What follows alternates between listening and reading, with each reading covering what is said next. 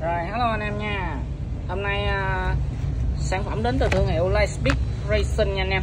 Đó, Thương hiệu người Việt uh, À, Vừa cho ra mắt mình cái sản phẩm đó là Cục mô uh, à, cục IC mở tua uh, à, Dành cho anh em chơi hệ xe quay rim Cúp 67 Dòng xe Dòng xe loại dòng xe nhỏ phổ thông nha anh em. Đó là cục uh, IC 5 chân lửa máy nha anh em.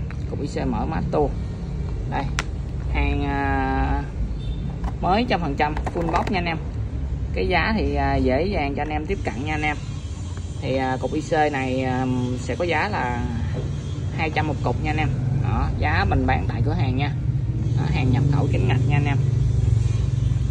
IC mở tô. Lightbit Racing. Cam kết với anh em là gắn vô là chạy được rất là nhẹ xe.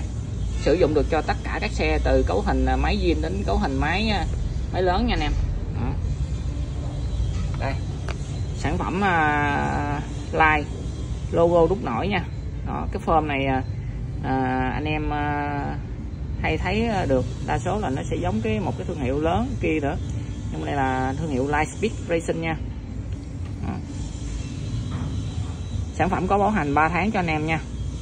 Anh em xài IC rim quay 5 chân lửa máy gắn lên là chạy thôi nha. Không cần làm gì hết. Rồi gắn vô bao nhẹ nha anh em anh em cần cứ alo mình qua số điện thoại là 0933 996 332 nha.